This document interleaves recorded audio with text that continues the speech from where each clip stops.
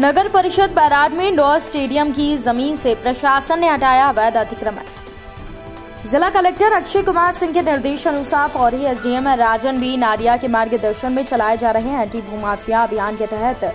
शनिवार को बैराड तहसीलदार विजय शर्मा ने नगर परिषद और राजस्व विभाग के सरकारी अमले के साथ नगर परिषद क्षेत्र के इंडोर स्टेडियम की शासकीय भूमि पर से अतिक्रमण हटाने की कार्रवाई की है। दरअसल कुछ लोगों के द्वारा इंडोर स्टेडियम की जमीनों पर पत्थरों से बाउंड्री वॉल करवा ली थी और कुछ लोगों के द्वारा निर्माण सामग्री डालकर शासकीय भूमि पर अतिक्रमण कर लिया जा रहा था, जिसमें आज बैराट तहसीलदार विजय शर्मा के द्वारा नगर परिषद की जेसीबी मशीन से हटाकर निर्माण सामग्री को जब्त कर नगर परिषद भेजा गया है। प्रशासन की इस कार्रवाई से अवैध अतिक्रमण कार्यों में हड़कंप मच गया है।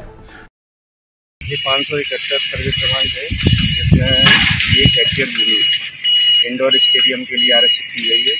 परंतु कुछ लोगों द्वारा इसमें पत्थर डाल दिए गए, रेत डाल दिए गए हैं और बाउंड्री वॉल बना ली है तो इसी इंडोर स्टेडियम की शासकीय भूमि को मुक्त किया जा रहा है।